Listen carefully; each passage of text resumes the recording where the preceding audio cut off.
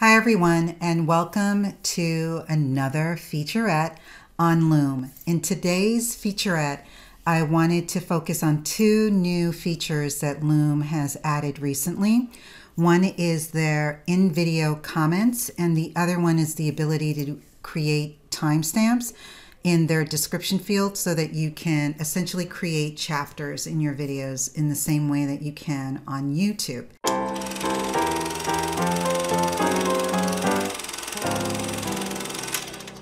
So first let's talk about the in-video comments. So once you've created your video and you've sent it off to the party that you want to view it, they can actually respond in doing in-video comments by playing the video. Hey Cindy, and in Edie. fact, let me mute myself. Um, and so you play the video, and as the video is going, if there's any part of the video where someone wants to comment, all they would need to do is come down here to this comment button and they would click it. It would automatically uh, pause the video and then you can type in whatever your question is. How did you do this? And you can see that the time is paused at 18 seconds into the video. So you can either click that or hit return and then it will continue to play. When you get to the next portion that you have a question, again, you come down and hit on comment. So let's assume that we're further along here and you have a new question. So you want to hit it again. So we've paused at four minutes, 11 seconds in, and then you can type in your comment here.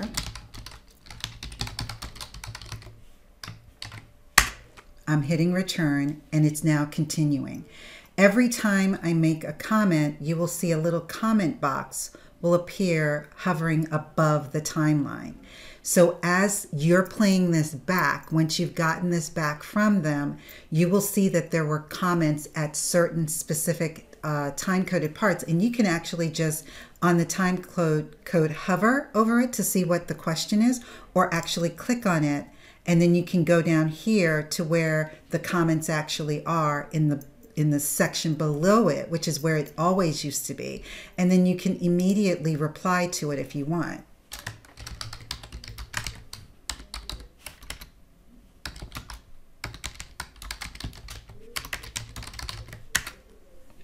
So you can do that if you like. And then you'll see that this indicates that two comments have been made at this vantage point. So I think this is actually really, really good and is a great way to not only collaborate if you have to collaborate with someone who is reviewing something, but certainly it enables you to communicate in a different way than traditionally sending a video via email or adding it to the Dropbox and having another entity there. This is happening right here as you get the email and as you're watching the video. So I think that's a really good um, step in the right direction that Loom is doing. They're always updating and improving, and I'm always looking forward to this. And just as a side note, um, this is not just available when you say, for example, send it in your Gmail and then the person clicks on the video and then they're able to comment that way.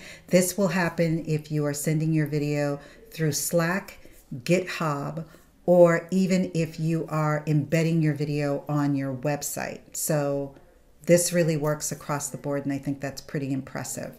Now, the second thing that you're able to do is, say, for example, again, you have created a video. This video is 13 minutes long. Let's say maybe that's not that long and maybe it's a longer video, like a 20 minute video.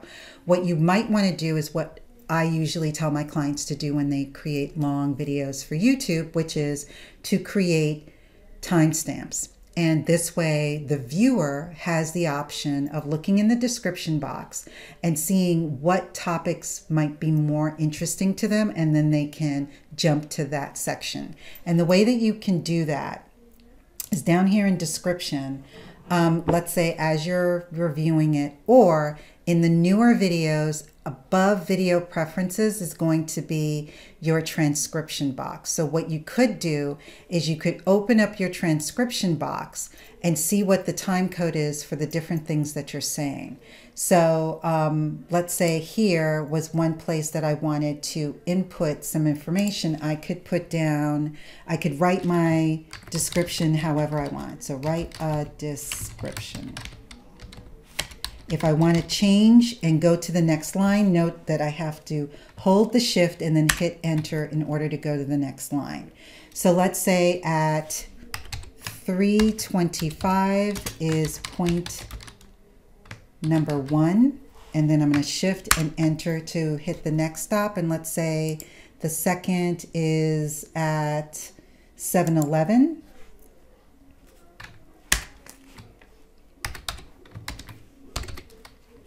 Is point number two. And then I can go to the next one and say the next one is at 10, 15 is point number three. So if this is what we want, and then I'll hit return so that you can see it. So this underscore makes it a hyperlink. So if I wanted to go back to say for example, the first one, you can see that it went back to 325. And then if we want to jump ahead, you can see that it went to 1015. So that's another way that just makes using Loom videos a lot more um, helpful and easy for you to use with your audience. And so this is not something that's just exclusive to YouTube users. This can now actually be something that you can incorporate privately on your videos that you're creating with Loom and then sharing with your specific client or with a group of people. I use a lot of my videos as instructional videos for every single new client that I have come on in an onboarding system. So it's actually for multiple people, it's not just for one specific person. So you can use your videos in that same way as well. And as you know, you can also embed your videos onto your website and use it on Slack. So all of those methods would really work. And I think this is really cool. So I just wanted to come in and share this featurette for Loom. Looking forward to seeing more from Loom. And as always, like this video if you think that it was helpful. Don't forget to subscribe to my channel so that you can see new and improved videos like this coming out every single week. And I'll see you in the next video.